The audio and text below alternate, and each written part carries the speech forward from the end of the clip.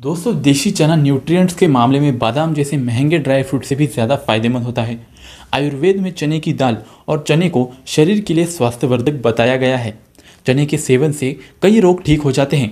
भीगे हुए चने में प्रोटीन फाइबर मिनरल और विटामिन खूब होते हैं, जो कई बीमारियों से बचाव के साथ साथ हेल्दी रहने में भी हेल्पफुल होते हैं।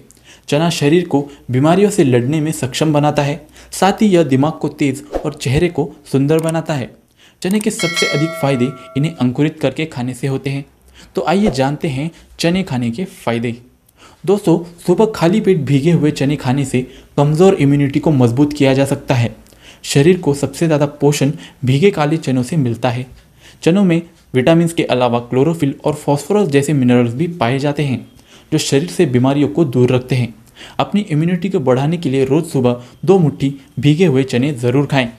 चनों में पाए जाने वाले सभी पोषक तत्व रक्तवाहिकाओं को स्वस्थ रखने में मदद करते हैं और ऑक्सीडेटिव तनाव को रोकते हैं, जिससे दिल की बीमारियों का खतरा कम हो सकता है।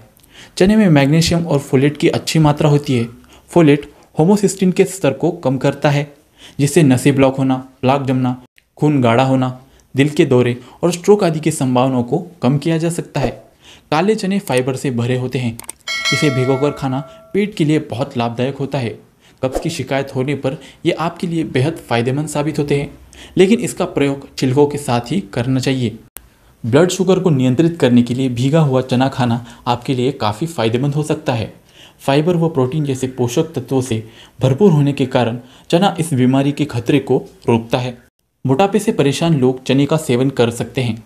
चने में ग्लाइसेमिक इंडेक्स कम होता है, जो अत्यधिक भूख को नियंत्रित कर वज़न घटाने में सहायता कर सकता है। वही इसमें मौजूद फाइबर कैलोरी के सेवन को कम कर अतिरिक्त मोटापे को नियंत्रित करता है। वज़न घटाने के घरेलू उपचार के रूप में आप चने को अपने दैनिक आहार में शामिल कर सकते हैं।